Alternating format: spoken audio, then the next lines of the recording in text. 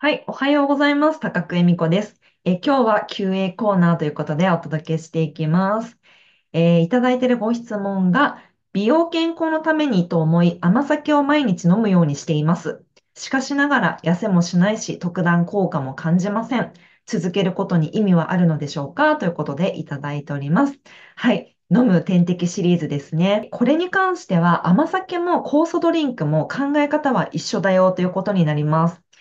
えー甘酒も酵素ドリンクも悩んでいるものが飲むだけで消えるっていうことはなかなかないわけなんですね。というわけで、えー甘酒について一緒に検証していきたいと思います。はい、今日はですね、甘酒がなぜ根強く人気なのかということ、そして飲み続けるメリットが何なのか、デメリットが何なのか、甘酒を取り入れるのであれば、どんな注意ポイントがあるのかということについてお届けしていこうと思います。まずこちらですね。甘酒が根強い人気の理由ということで、これはですね、大きく分けると3つ理由があるかなと思います。まず1つ目が、豊富な栄養素と言われているということ。え少しですね、含みを持たせるような言い方をしているんですが、これについてはまた後ほど解説したいと思います。はい、え豊富な栄養素があると言われている、えビタミン B 群とかアミノ酸、食物繊維などの栄養素がバランスよく含まれているので、疲労回復効果があるよとか、美容効果が期待できるよっていうことで人気になっているわけなんですね。はい。では人気の理由2つ目、えー甘さが自然であるということ。まあ甘酒といってもいろんな種類があると思うんですけれども、基本的に原材料というのはお米と米麹などが多いです。市販のものだと砂糖を使ってしまってあるものも多いんですが、原材料にこだわって作られた甘酒であれば自然な甘さが特徴ということ。この甘酒は飲むだけでなく、お料理とかお菓子作りにも砂糖代わりとして使えるので、そういった面でも人気かなというところです。そして人気の理由3つ目、腸内環境の改善が期待できると言われていること。立ち位置として発酵食品とされているので、腸内環境を整える効果があると言われています。なんですが、甘酒を飲み続けていても便秘が解消しませんっていう方もやはりいらっしゃるんですね。なので、甘酒だけでどうにかなるっていうものではないかもしれないよということにもなるかもしれません。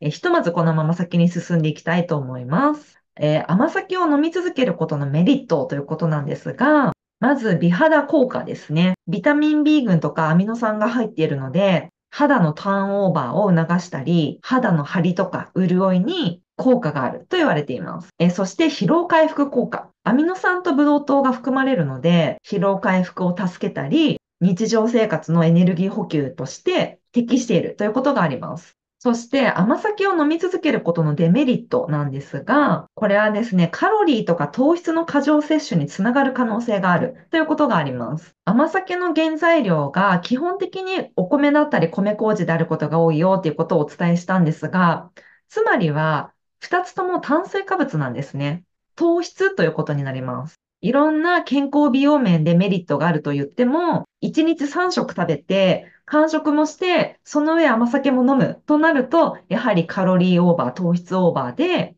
逆に体重増加につながるケースもありますので、ここは注意をしていきたいところです。あとですね、市販されている甘酒の中には、砂糖とか添加物が添加されているものもあるので、そこも気づかぬうちにカロリー、糖質の過剰摂取につながりやすいので、買うときというのは裏の表示をしっかり見て選ぶようにしてみてください。はい。で、甘酒を取り入れるときの注意ポイントということなんですが、これは適量を守るということです。美容健康効果が期待できるからといって、過剰に摂取するのはやはり NG です。1日3食しっかり食事をすると仮定すると、糖質とかカロリーのことを考えるならば、1日 100ml あたりが目安かなというところです。そして何よりも大事なのが、食事のバランスを整えるということです。甘酒が飲む点滴というネーミングがついてしまっているがために、どうしてもこう万能な飲み物っていう風な印象を持たれている方が多いんですけれども、ちょっとそうではないという視点も持った方がいいよということを表を使ってね、解説してみたいと思います。で、これは何の表かというと、えー甘酒 100ml に入っている栄養素、まあ、すべてではないんですけれども、いくつかピックアップをしてもらいました。右側が1日の推奨摂取量ということで、成人としているんですけれども、これは男女関わらず、まあ、ざっくりと成人ということで、1日に必要な栄養素がどのくらいなのかっていうものをピックアップしてもらいました。で、これで見ていくと、確かに甘酒っていうのは、タンパク質も入っているし、糖質も食物繊維もビタミン B 群も、ということで、やはり栄養バランスのいい飲み物なんだっていうふうに思いがちなんですけれども、この大人の体に対して必要な栄養素を十分に持っているのかって言ったら、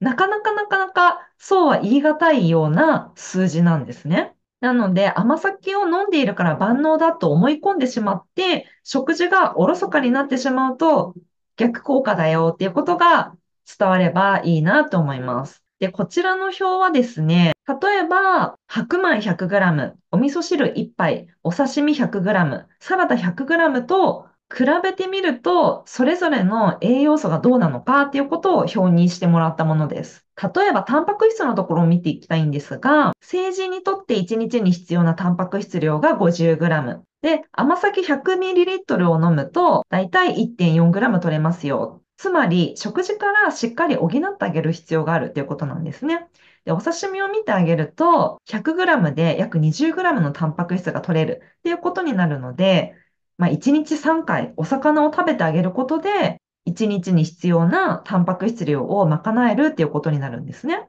ビタミン群も見てみると、甘酒から取れるビタミン群の栄養素、本当にごくごくわずかなんです。こういった食事を重ねて食べることによって、1日に必要な量を確保できるという計算になるので、やはり甘酒だけに頼るっていう考え方は危険だよっていうことがわかりますね。はい、えもう一つ見ていきましょう。え葉酸、カリウム、カルシウム、マグネシウムなどね、結構女性が欲しがるような栄養素が書かれているかなと思うんですけれども、こういった栄養素も甘酒だけに頼るというよりかは、他のこちらの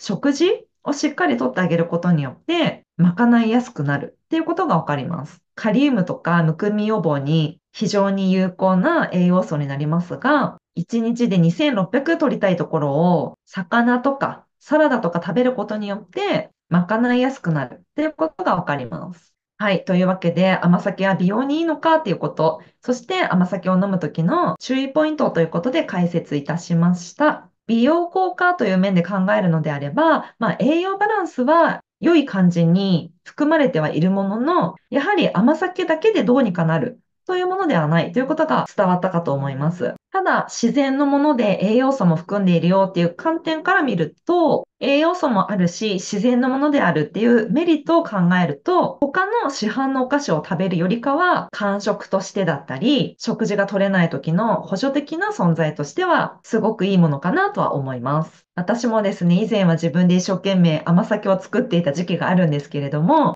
やはりですね、手間なんですよね。私は発酵機という機械を使って、じっくりじっくり発酵させて、ということをやっていたんですけれども、その熱もいつの間にか冷めやり、発酵機も手放してしまいました。ただ、飲み物としては甘酒はすごく好きなので、食事が取れない時とか、間食代わりに上手に活用していきたいなって思っております。